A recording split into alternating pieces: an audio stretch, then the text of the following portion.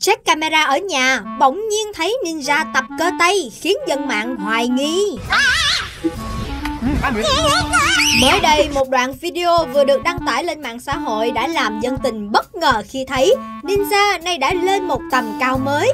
Từ Ninja Lip thì nay đã trở thành phiên bản nâng cấp hơn là Ninja Dusa. Bay ơi bay Bay ơi Từ những gì quay lại cho thấy Một người trong trang phục váy chống nắng Đang từ từ bám trụ sắt Sau đó thoăn thoắt trèo lên trên cao Bằng những động tác như leo xà, đu xà di chuyển Trông vô cùng thuần thục. Ôi trời ơi! Không dừng lại ở đó Sau khi đã vượt qua hai level cơ bản Thì ninja này lại tiếp tục tập luyện động tác hít xà Đu lên xuống khiến cho mọi người khi xem Cũng phải hồi hộp nín thở theo dõi.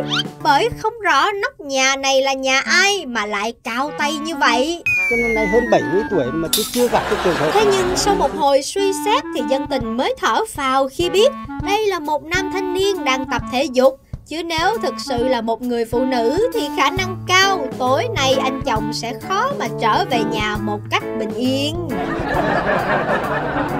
Cảm ơn các bạn đã quan tâm theo dõi video. Nhớ nhấn đăng ký kênh tin ngắn 3 phút để xem những video mới mỗi ngày nha.